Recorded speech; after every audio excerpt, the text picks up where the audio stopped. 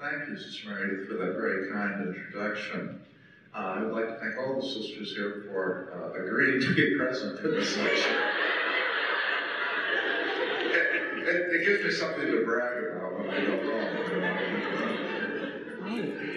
Anyway, I want to talk about uh, sins of speech. You know, as, as Sister has said, I spent quite a lot of time teaching uh, Providence College first, the uh, uh, PFIC and Josephinum, so I've been around the block a couple of times. And uh, but now, this year, I only have one class a week to teach, novices, you know? And uh, so this is great, once a week is fine, but uh, it's really a different experience for me, you know? Uh, no, no exams, no final boards, no opportunity to grill helpless Nashville Dominican sisters on their last stage before uh, getting their degrees. All of that is gone. However, I do have the second and the third and the fourth and the fifth and the sixth and the seventh grade who come for confessions.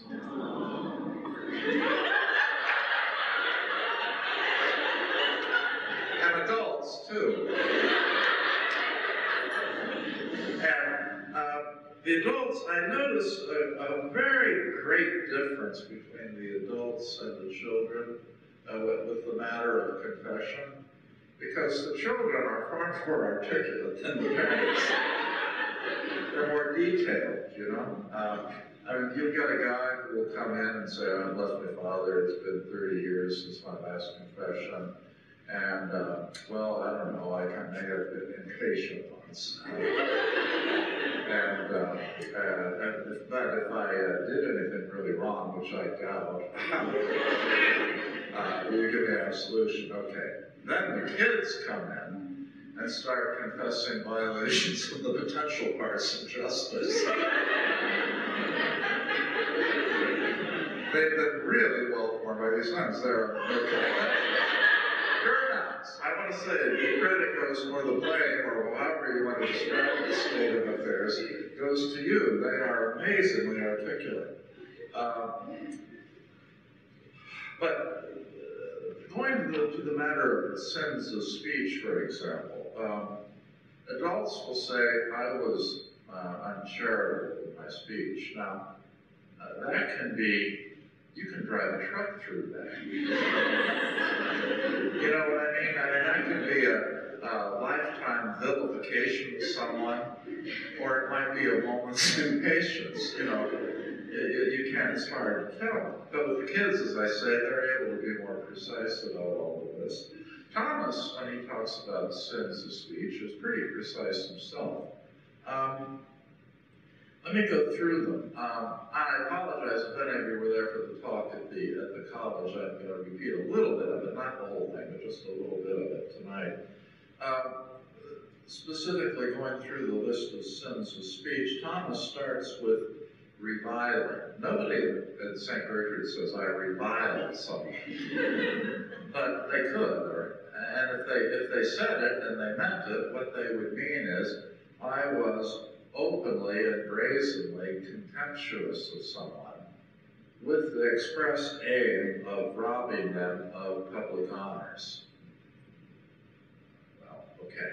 Uh, you can see what's up there. The, the whole part of that kind of speech is the open contempt you have for the person for whom you speak, to whom you're speaking. You want to rob them of honor.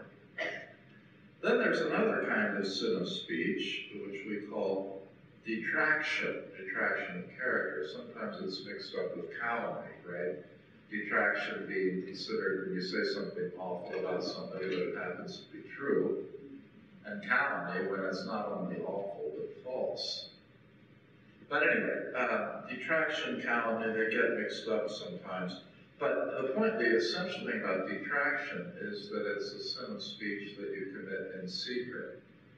Uh, one way of talking about it would be a whispering campaign.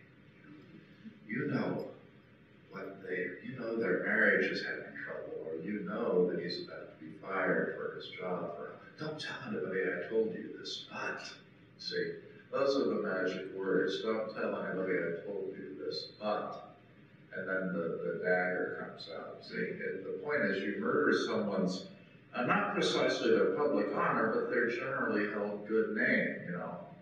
They're not saying you're a bad mayor, they're saying you're a crummy person. And they're doing it behind your back, stabbing you in the back. Detraction. Then there's talebearing.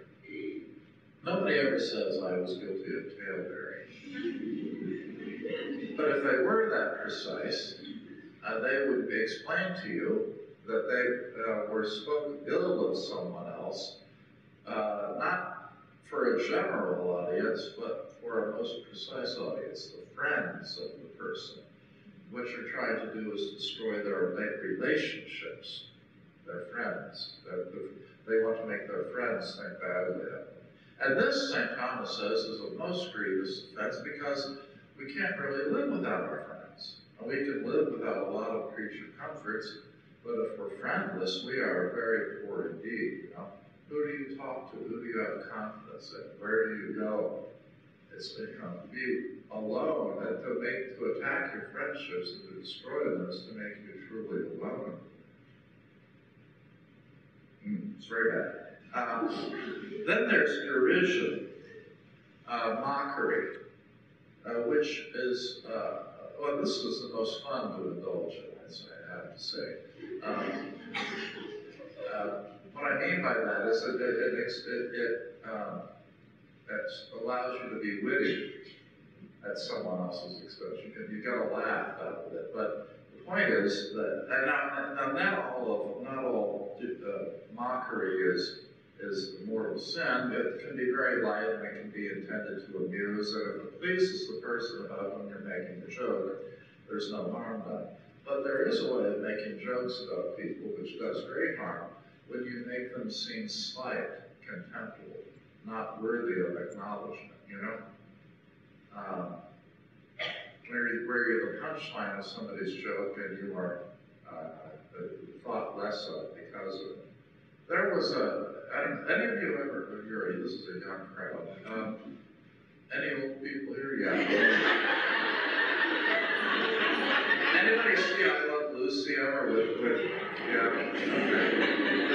Anyway, I Love Lucy with Ethel and Fred and Ricky and Lucy. Lucy, you've got some explaining to do. Well, Ethel, the Vivian Vance, who played Ethel Mertz, had something that really bothered her, and that was her character. Ethel was supposed to be overweight, and uh, the directions were that she should stay overweight and get more overweight so that she could look, make Lucy look better by contrast.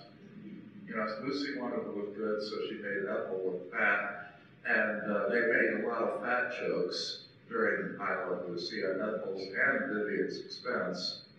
And uh, it's not pleasant. It's not nice. It really does harm. Finally, there's cursing, which is not uh, letting off expletives, but uh, cursing, St. Thomas says, happens in the indicative mood, the subjunctive mood, and the imperative mood. Don't you love this precision? I'm waiting for a St. Gertrude's student to come and say, I, I wish someone built in the subjunctive mood. I don't know that your education has taken deep roots. anyway, uh, the indicative mood uh, is when you go to somebody and say, you are 15 pounds overweight. Uh, and the subjunctive mood is, I wish I would just die of a heart attack, you know. And the imperative mood is when you make the ill happen, you know your words actually bring about a performance. Uh, magic, if you believed in magic, uh, that would be like a witch's spell, where you curse someone and then harm really comes. But you can put a hex on somebody without resorting to magic. You just get inside their head, you know. You say bad things about them or to them, and then it starts reverberating in their mind. And then soon, they can't stop thinking about it, and you effectively curse them, you know you jinx them.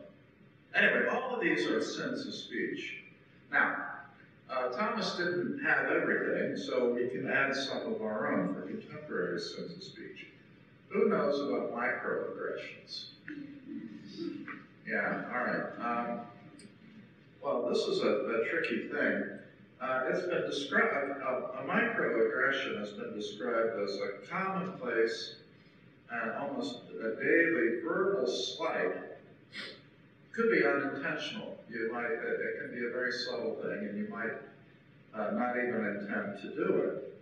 But nevertheless, through some slight verbal gesture, you communicate negative attitudes towards, and this is a big difference, stigmatize our culturally marginalized groups of people.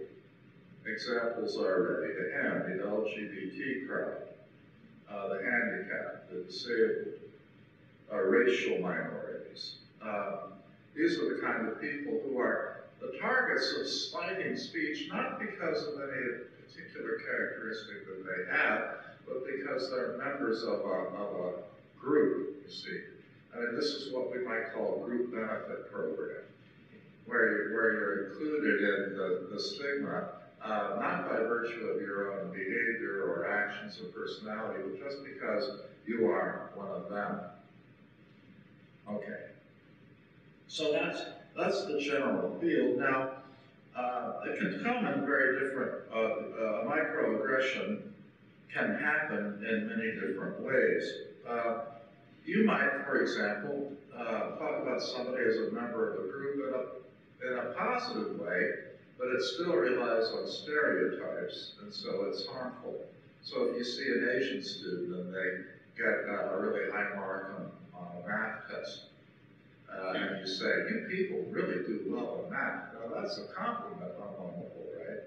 But on the other hand, it's a stereotype. It's, it's reducing the individual to the group. It's a compliment, but it's not really a compliment. Um, or you have a Jewish student. You, you Jewish people are really smart, aren't you? Smart lawyers, smart business people, aren't you? You can hear the aggression in that, can't you? Yeah. Um, there's also a form of uh, microaggression, which is just plain out invalidating another person's experience of discrimination. This gets tricky because it's hard to, you know, the, the, the microaggressions can be so subtle that you don't notice them. And then it comes easily, uh, it can cross the border easily into uh, oversensitivity or seeing insults or slights where there weren't any, were not intended. But, and this is where you're kind of guilty before you're, before you're even charged. Uh, it's where you invalidate somebody else's experience. I, I was discriminated against last week at the board meeting. Did you see that blatant example of racism? And then you, know, the other people who were there say, I was there, it just looked like a normal business meeting to me. I didn't see that. And then, if, but if, it's tricky because if you say that, I didn't see the discrimination there, then according to this way of looking at it, you're invalidating an experience. See, but that's the problem. Your, your experience is taken to be self-evidently true. If you say it, then it's true. If you were offended, then you were really and truly offended. There's no appeal against that. There's no way of arguing. There's no way to defend yourself. Anyway, you can listen though, because perhaps it's true. You have to go back and, and, and revisit the experience. There's also a, a, way of doing this, which is pathologizing cultural differences, where you make remarks about somebody based on their style or their ethnicity, their, their, their sense of fashion, the way they wear their hair, you know, things like that. Or uh, pathologizing another cultural difference would be uh, cultural responses uh, or cultural uh, norms of behavior. Asian students, for example, I'm told, are generally more quiet in the classroom. They've been brought up to have great respect for their teachers, and so they let the teacher speak. Uh, but that can be, uh, again, overlooking the individual in the section group. Maybe the student just is quiet or afraid or or there may be other explanations, you see. Then there's finally, there's confusing the differences between uh, groups that to an outsider look similar, but which in fact are different. We had a guy at Josephinum, uh, who was a wonderful fellow, we had a lot of fun. Um, he was a Cuban guy, and if you ever really wanted to upset him, you would call him Hispanic. See, you don't make that mistake. You know, the, the, the, the, Hispanics are not a group, uh, not a, there, there are many, many, many subgroups, and within those groups, there are groups. So making mistakes in all these things can be all in the microaggression. Now, I want to say two things about this. Uh, Thomas's way of talking about sins of speech is really, are, they are instances of what he would call commutative injustice. That is to say, they are instances of an involuntary exchange between individuals. In this case, it's a verbal exchange. But it's Bob and Jack, you know, two single people who are involved in this altercation. And it's involuntary. Nobody likes to be reviled, detracted, being the victim of tale-bearing, derision, or cursing. Nobody really looks forward to that. So it's negative, and it's involuntary, but it's between individuals. Now, um, with the microaggressions, I think we're in a different category of justice. With microaggressions, we're dealing not with uh, commutative injustice, but with distributive justice. And also with um, particular form of uh, commutative justice that is juridical. I mean, me see, we'll tell you what I mean by that. Um, see, the difference between uh, distributive justice and commutative justice is that commutative justice is between individuals. And because they're individuals, they're equal individuals, and they're on a level playing field. There's a certain equality there of status. And that's why when there's inequality of status, there's also an inequality of justice. Justice is only a, uh, partly realized. So if you're a parent and you have children, the child can't say, there are two of us, Bobby and Susie, and uh, and there's only one of you, and we, we we go to Disneyland. we outvoted you, Mom and Dad. No, this is not a democracy, and you're not my equal. You know, you're not, you're my child. Uh, we're, we aren't equal, and so we're, we don't get equal treatment. Well, that's what's, uh, with, with the government, it's the same way. Uh, when I was a kid, at first, actually, this is the first day of the first grade. That my mother told me about this. Is what I behaved my older sister is in tears because she has to be there for the 8:15 mass, and she's late, and she's she's sure sister is going to cannibalize her at that rate. and uh, she, oh, sister's going to be so mad at me. And, Okay, so my mom's dealing with her, and I'll come on, Jane, you, you, you do this. Come on, you're be all right. Sister's not gonna eat you. and, uh, and I'm on the, the stairways going up to the second floor, and I'm I haven't learned to read, but I'm reading the newspaper upside down. I haven't gotten dressed. Oh, I'm in my pajamas. My mother says, What are you doing here? I told you to get dressed. And I looked out under the newspaper and said with a kind of calm, sovereign majesty, You tell them I can't make it today.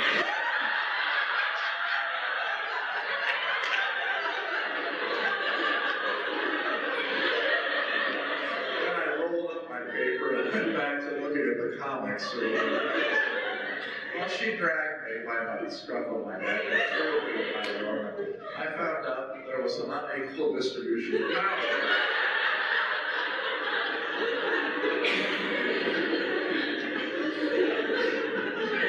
Just was, I mean. and dang did I appeal.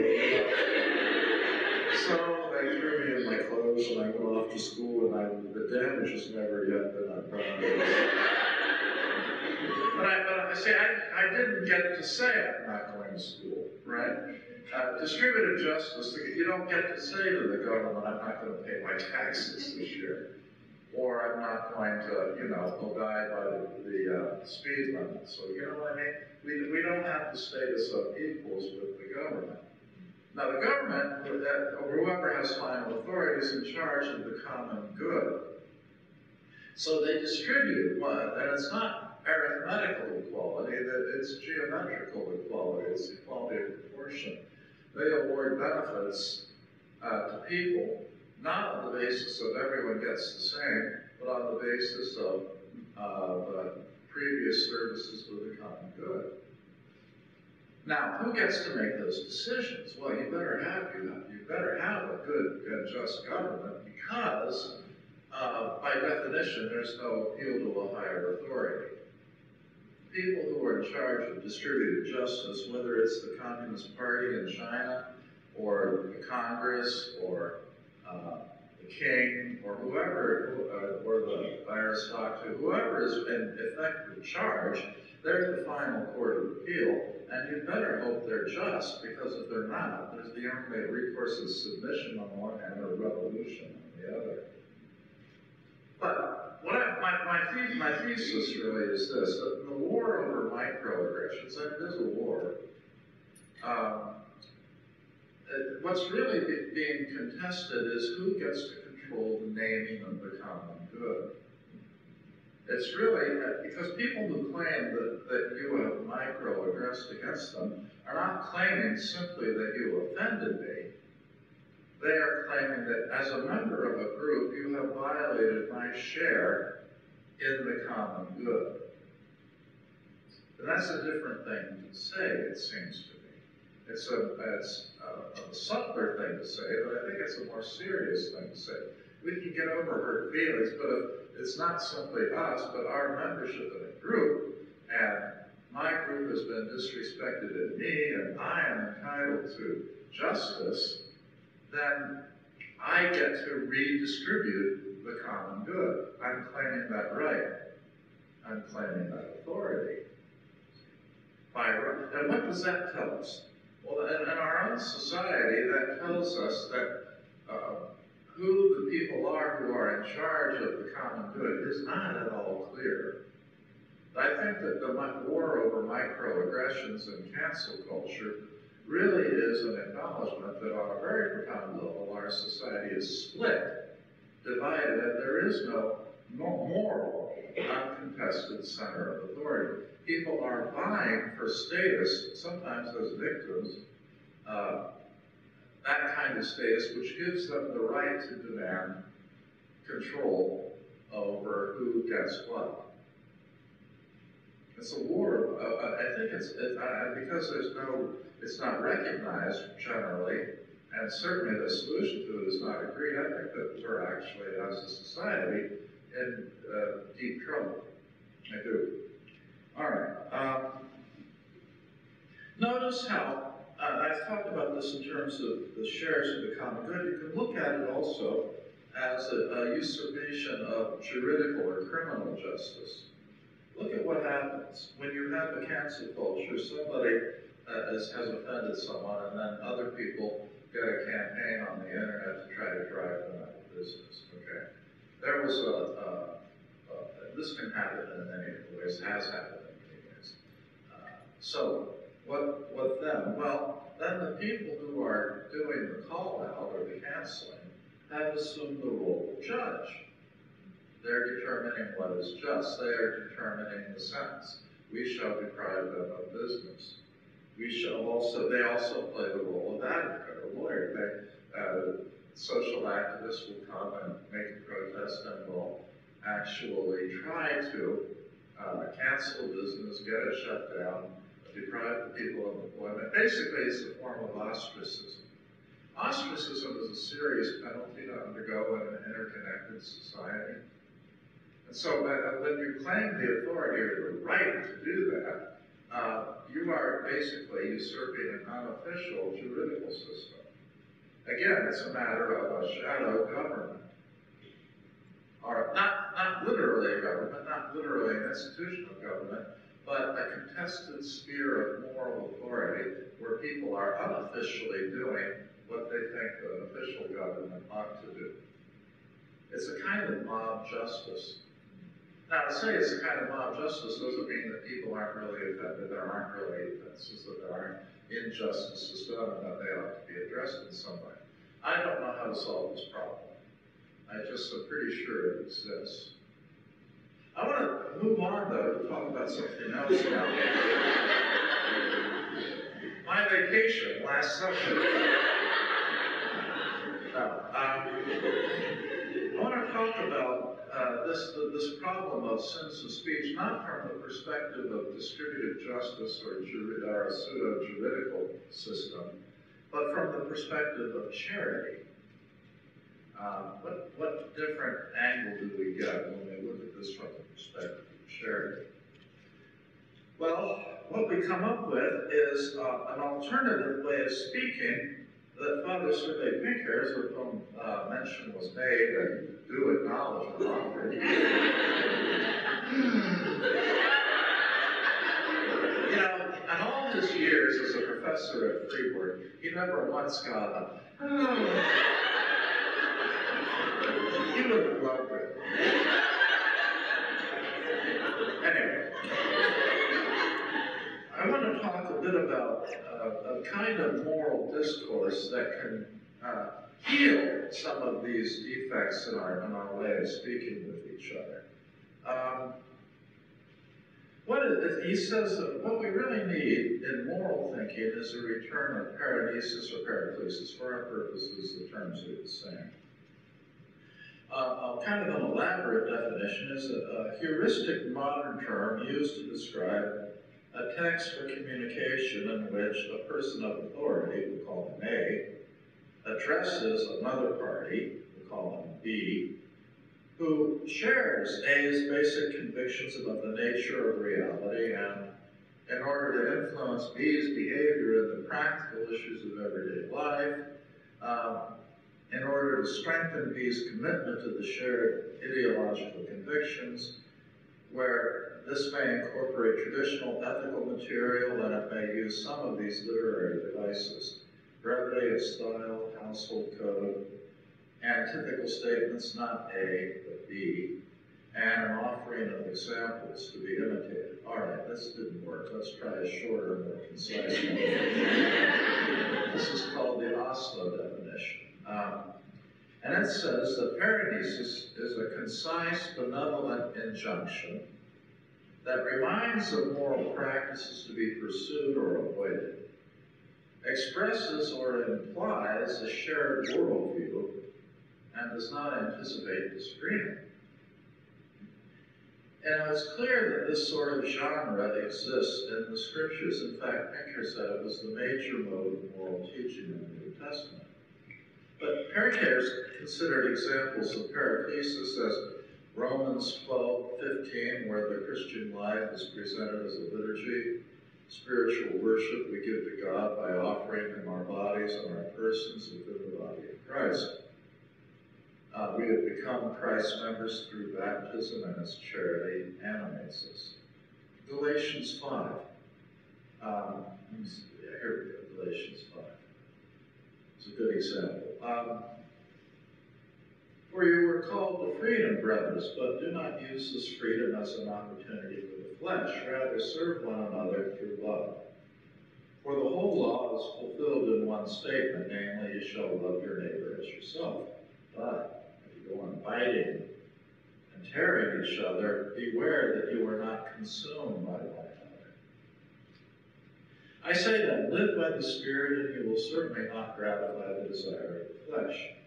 For the flesh has desires against the spirit, and the spirit has desires against the flesh. These are opposed to each other, so that you may not do what you want.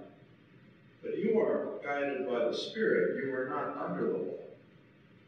Now, the works of the flesh are obvious immorality, impurity, licentiousness, idolatry sorcery, hatreds, rivalry, jealousy, outbursts of fury, acts of selfishness, dissensions, factions. Sound familiar? Yeah. Uh, occasions of envy, drinking bouts, orgies, and the like, for that those who do such things will not enter the kingdom of God. In contrast, the, few, the fruit of the Spirit is love, joy, peace, patience, kindness, generosity, faithfulness, gentleness, self-control. Against such there is no law. Now those who belong to Christ Jesus have crucified their flesh with its passions and desires. If we live in the Spirit, then let us also follow the Spirit. Okay. Let us not be conceited, provoking one another, or envious of one another. All right, so that's a fair example of what Pinckaers talks about as paraclesis and as the uh, central mode of moral teaching in the New Testament. All of these modes of teaching presuppose that the happy, the goal of the moral life is happiness with God, that God has come to us in His kingdom, and it is attainable to us. Happiness with God is the goal of our striving. It uh, presumes that virtue is the path to that happiness, theological virtues and moral virtues. Uh, and the mode of expression here is exhortation, which presupposes and relies on the friendship between the speaker and the people who listen to him. The, the underlying hum, the underlying beat of this mode of moral discourse is, we are family. that's what, that's the mode of analysis. Um, uh, we are together, we are one, uh, and we all agree about the kingdom of God, and so we can be motivated by our common vision to live appropriately to that vision. All right? Now, how this works uh, in a practical way. Um, it operates by paraclesis is first of all remember the word of God. That means like any word of God, it affects what it signifies. It's like sacrament in a way, it affects what it signifies. God says, and it is. God said, let there be light, and there was light. Well, the same kind of thing is said to be operative here. These kinds of passages have a healing power to them to reorder your disposition. So, again, specifically, not specific for justice, but charity, which is a higher virtue. Paraclesis is rooted in the special form of knowing that is faith, and faith itself is a form of noetic healing, the need for which implies that something has gone askew in human rationality. It's possible to treat this question from the perspective of the necessary limitation of any creature, however excellent, and to conclude that even in an unfallen world, human nature would require the elevation of grace, and the human mind would require the gift of faith before a personal union with God could be secured. But in the fallen world, we have all the more need to hope for and claim in faith the noetic grace, which is at one and the same time elevating and healing. Now, the noetic grace offered by the gospel is, of course, the wisdom of the cross, offered in opposition to the wisdom of this world. Pinckaers considers these contrasting wisdoms in an article entitled Aquinas' Pursuit of Beatitude. In this article, he considers the apostolic paraclesis offered by St. Paul in the first letter to the Corinthians. The standards of worldly wisdom are put to flight by the wisdom of the cross. In fact, St. Thomas explains the preaching of the cross, the object of faith, contains truths that seem impossible to the eyes of human wisdom. For example, that God should die, that the all-powerful one should be subjected to human violence. According to the letter to the Romans, the masters of this age have been able to rise to certain knowledge of the Creator by the consideration of his works. But since human wisdom was pleased to rest in the corruption of lust and idolatry, God had to reform this wisdom, teaching through the folly of the cross the wisdom that could be apparent only to faith. Okay, now paracletic speech is uh, actually evangelically original. That is, it, see, the argument here is that there are forms of, you know, do good, avoid evil, uh, uh, be fair, be just, be honorable, that kind of discourse that we call paraclesis is really a matter of formal morality rather than uh, material. It offers you a formal norm rather than a material norm. Formal norm being be good, be chaste. It's, it's about the person. It's a norm that directly applies to a person as such. Whereas material norm describes prescribed or uh, forbidden behavior. So be just as a formal norm that applies to a person. Pay your taxes by April 15th is the material norm. Now, the formal norms admit of no exception. The material norms, the more specific you are, the more you can find an exception. Now, some people find paracletic discourse basically useless because uh, to be just doesn't help to, to obey or try to obey the commandment. Be just doesn't have any content unless you know what justice is already. That's what you need. You need to be fair. I, I've got a problem. I've got a dilemma. I say to you solemnly and authoritatively, I know the answer to your problem. Be fair. Well, if you've got a problem, be fair doesn't help you much. That's what you're trying to figure out, how to be fair. But, um, so you have to do other work for material norms. And that's where we're contested in this world because, you know, what the basis for morality is is the subject of the course, which I've offered more times than I can care to recall. anyway, um, but anyway, it is contested ground. But you see, the paracletic thing, be, you know, be renewed in the Lord, has a power uh, which is not derived from the surrounding culture and its basically derived norms of, of moral truth. It's not derived from culture, it's derived from the paschal mystery. There, God did something in Christ which changed things. And when you appeal to that, when you root yourself in that, you find that your mind, as St. Paul advises in Ephesians, is subject to renewal. Okay. Um, now, let's go to the letter to the Corinthians again. Um, he talks about the conflict between uh, the wisdom of this world and the wisdom of the cross. Uh, but Paul and we, there are people who have, have looked at that section of the letter to the Corinthians and thought that what Paul was confronting with the uh, appeal to Apollos, an incipient form of Russian Orthodox, Greek Orthodoxy, and with the appeal to Paul, basically as an appeal, early appeal to proto-Lutheranism, and Peter, of course, is the uh, it's not, I belong to Peter, I belong to Cephas, really, is a proto-Roman Catholic. In other words, uh, some people treat these parties as having incipient theological divisions. That, I don't think that's the best reading. Really, it's a matter not so much of, of theological nuance between the different apostles, it's a matter of social competition.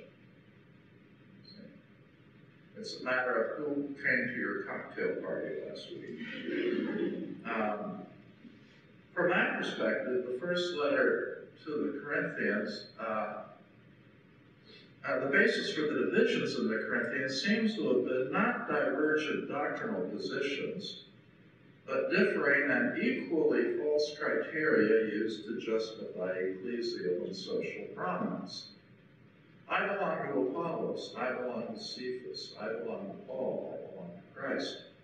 These are not slogans signaling divergent interpretations of the gospel, they are slogans signaling the presence of self-inflated camps, each one striving for status, each one striving for worth, each one striving for public acknowledgement, each one striving for ecclesial approbation, each one a victim of microaggressions.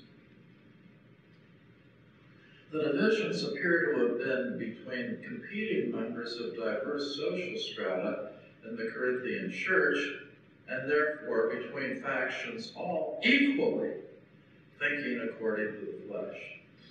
The need for acknowledgement and status creates idols, which are needy and compulsive, and which require full adherence in order to grant validation to one's status, worth, and position.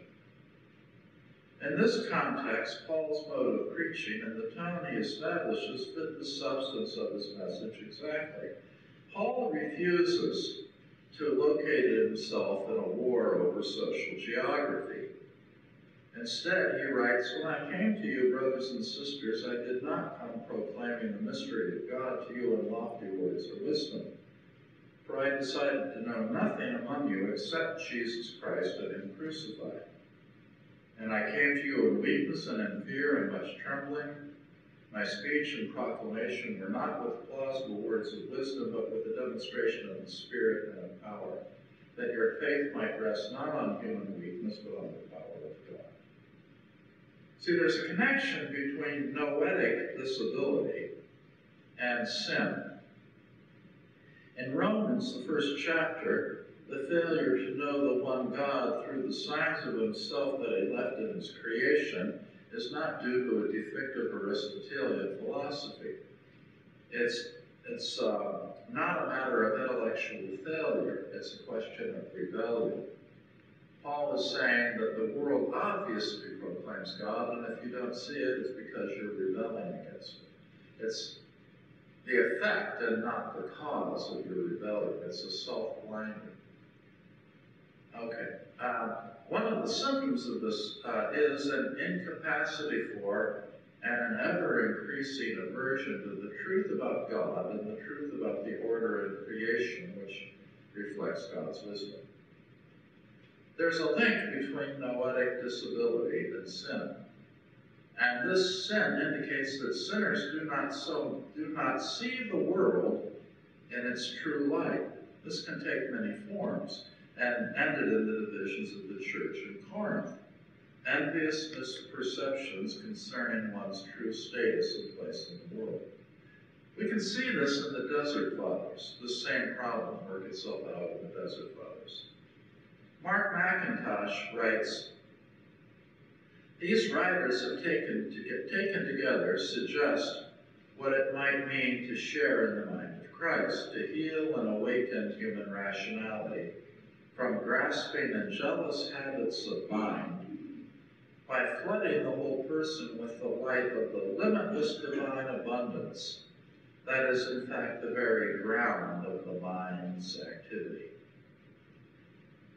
Persons whose entire existence have become attuned to this abundance no longer understand anything according to the flesh, as Paul puts it.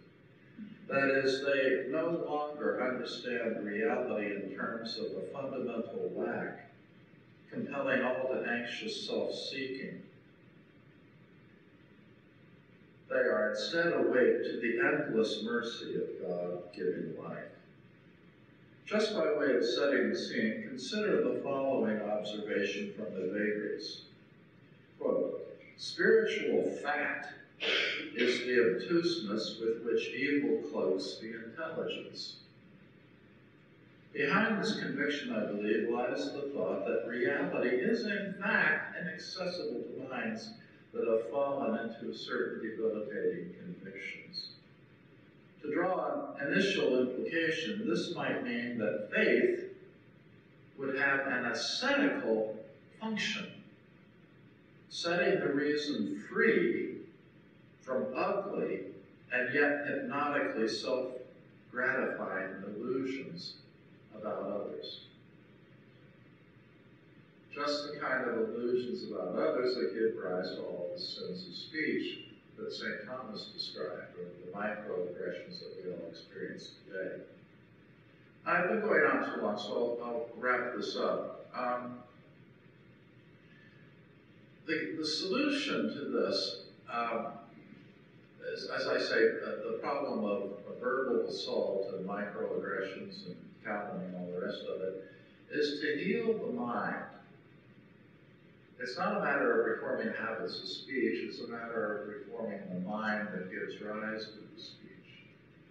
The mind that gives rise to this kind of speech is an anxious mind. It is a debilitated mind. It is a mind that is not sure that it is valuable or that, that, that, that, that it's safe, you know. And minds who are governed by envy and these kinds of sins of speech are really afraid, of the loss of that little status they have. And that means they have a metaphysics of scarcity. They have, a, they do not know that there is an abundance of love and life available to them. See, Christ, when he came, uh, underwent a kenosis. He died not just physically painful death, more specifically, he died a shameful death. You know, when the scriptures talk about somebody being put to shame, they're not talking about being socially embarrassed by an indiscreet cough or a poor fashion choice. Uh, they're talking about someone to whom and about whom God has said, This is not my child.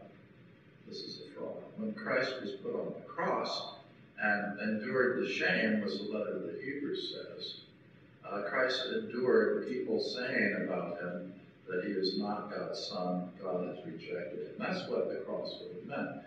In, in um, Deuteronomy, it says, Cursed be he who hangs on the tree. Cursed God, cursed him. At least that's what the Pharisees thought. That the death on the cross was not simply physically agonizing, but the final and irrefutable proof that this man was a fraud. Now, he was willing to endure that. And he did endure that. He was put to shame, as so far as the world can put someone to shame, but he triumphed over it. See? His act of obedience was answered by the Father in raising him from the dead, and now he lives beyond the reach of human, uh, human dishonor, and is the source of every honor. From that act of selfless generosity and love, flows an abundant grace which is capable of healing our jealous and divided minds, which is what we need. Um, when you get into microaggressions and wars over social geography, it's almost impossible to, to um, I mean, you can decide more or less what's fair and what's unfair, and you work on this, and you have well, that, that's a whole other lecture, a practical solution in the civil spirit of this. I don't have it. Uh, but on a theological level, the answer is, of course, conversion. On a theological answer level, the answer is the church uh, living together in the charity of Christ, where we speak to one another, not in derisive, derisive ways or in calumniating ways, but with hymns and songs and spiritual songs and encouragement and endless confidence that the charity of God can remake even your stubborn neighbor into somebody glorious. Uh, that's what you have to have, and that's what you have to live in the church. We have to live it together. This will not solve our legal or social problems, but it will provide an oasis, a place where people, in responding to God's revelation, can grow in the knowledge that they don't need to be afraid of microaggressions against them, and they can forgive them, and they can be free of the need to answer in kind. Thank you very much.